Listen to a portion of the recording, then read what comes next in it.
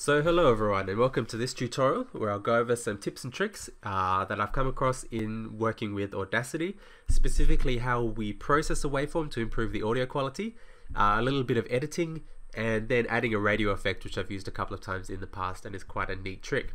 This is the waveform that I've recorded, uh, let's have a listen to it. Mystery. All my life has been a mystery. So that's that's incredibly weird. It's an incredibly weird test piece of audio. Um, basically, I wanted to use uh, a classic bit of Fry and Laurie skit called Mystery, where Hugh Laurie sings in this weird voice. I tried to emulate it. It's not great, but it's still an it's it's still a waveform that we can use. So let's use it. So there's a few weird things going on. It's a bit of an artificial example.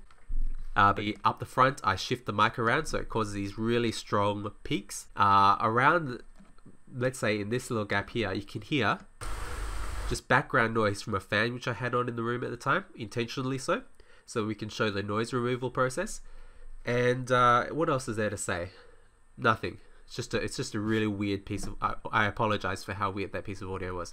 Anyway, let's move on. So let's start with improving the uh, audio quality. So the first thing we need to do, noise removal.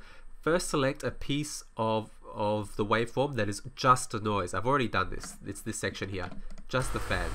So we go to effect, we go to noise reduction, and then we go noise profile. So it's a bit unintuitive, uh, but think of it like this. First of all, we have to show Audacity what the noise looks like. So by getting the noise profile, we tell Audacity, I want you to look for this kind of noise. Now that it's got that profile, we select everything, Control A, Effect, Noise Reduction, and we don't select Get Noise Profile again, uh, because then it will select everything now. We It already has the noise profile. We go OK.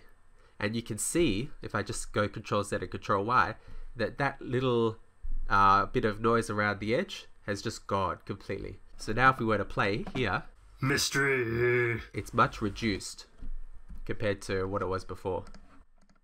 Mystery. But it's still not completely removed, right? So let's, we've still got the profile in memory. Let's go Effect, Noise Reduction again, and just go OK. Mystery. And if we were to do it a third time, I generally don't do it more than twice, but it depends on what you want. It's not really affecting the signal too much. The signal's staying at about the same level.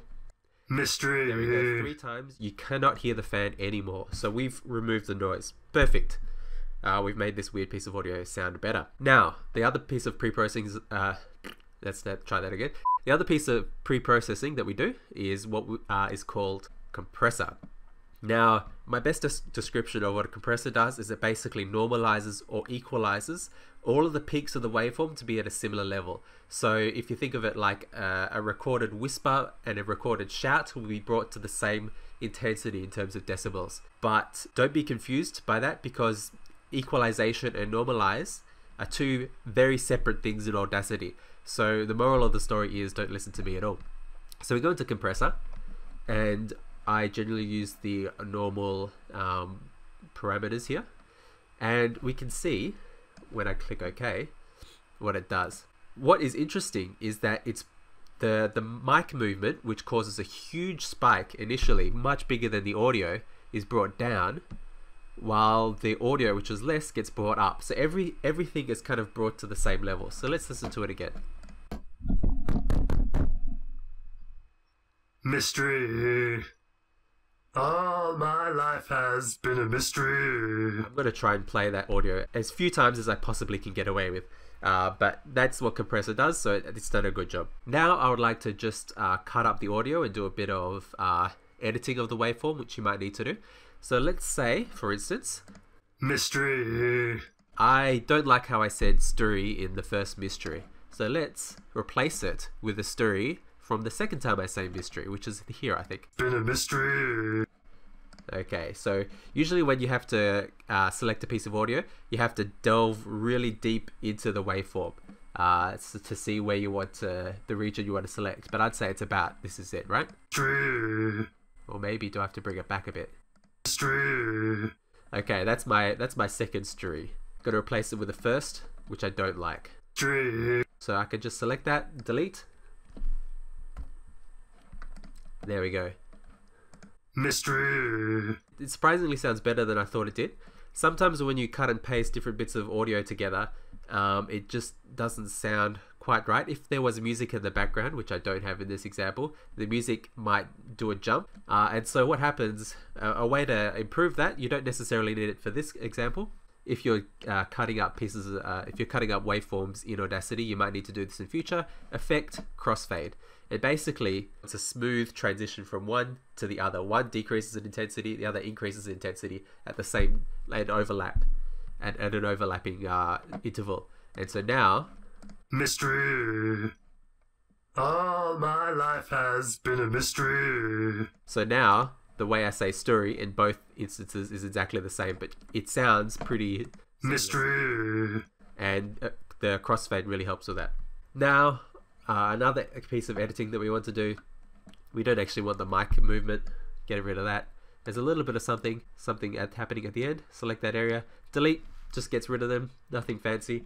And so finally, I've spent all of this time improving the audio quality. Now I want to bring it all back and make the audio quality a bit more rubbish. One way you can do that is by going into effects and equalization. This gives you some options for making an AM radio, telephone, walkie-talkie. You can boost or cut the bass and treble. I mean, and you can get a radio effect uh, using this method, uh, but I tend to prefer another method. So in this method, basically we go to effect and we go to high pass filter and so usually it gives you a 6 decibel as a default but I go 12 so what a high pass filter does is it looks at the frequency content of your waveform and basically the high frequencies pass and the low frequencies get cut off. So let's run that and let's have a listen to it. Mystery. All my life okay I'm going to cut myself off there but you can tell now that it, it sounds different. The high pass filter has given it that sort of like over the cable over the line kind of quality to it but not we're not quite there. Now we've spent all this time getting rid of the noise, but when you hear something over the radio, there is actually a bit of noise there. So first of all, we actually create a new track, and we create a new stereo track. And then in this track, just select this area, we go generate some noise. So it may seem a bit weird to, after we've removed the noise, now we're just adding it back, but we're adding it back to a second track, okay? So we're not corrupting our signal anymore, the noise is on a separate track which we can remove if we want to. We've still got our original noise. So now let's play it. Ah horrible. Get out of here. So this is too loud obviously. So amplify. Um, I'd say probably about minus maybe minus 40 it's just a rough estimate. Mystery. that's probably still a bit too loud.